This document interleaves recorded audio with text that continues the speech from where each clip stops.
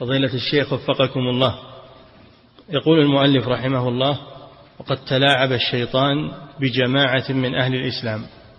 لماذا سماهم أهل الإسلام وهم مشركون؟ بالانتساب. يعني الإسلام بالانتساب. نعم.